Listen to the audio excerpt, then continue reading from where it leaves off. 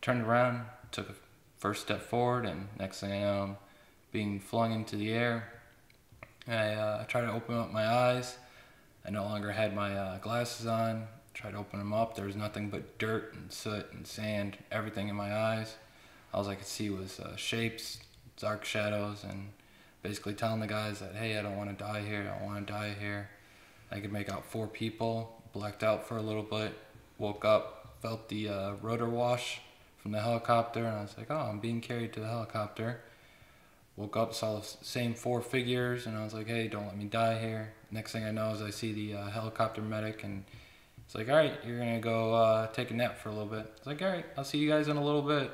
Wake up two and a half months later and in a hospital room with a white blanket over me and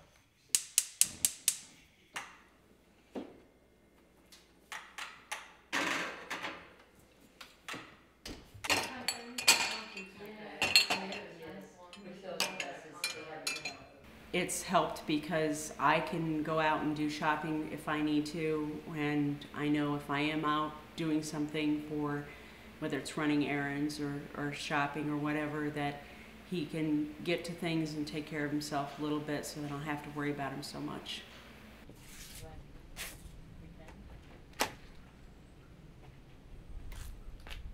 Johnny. Hello. Hey, John. Yes. round up We like that. We're not gonna.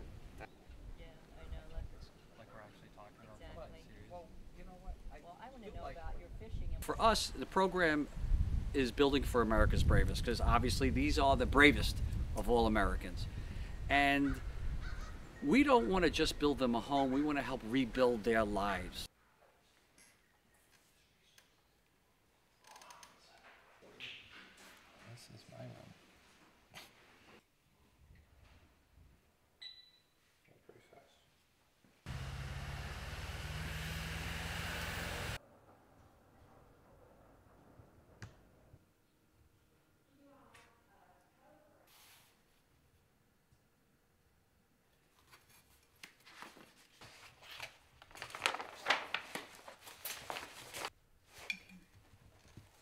The greatest challenge was envisioning yourself in his personal situation.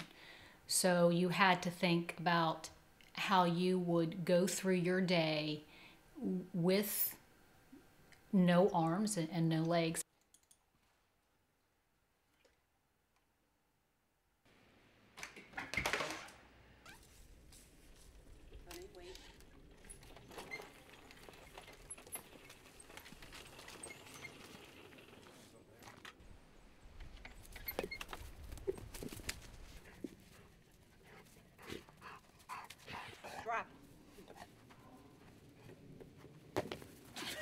Point right in the head. Go get it. Go get that.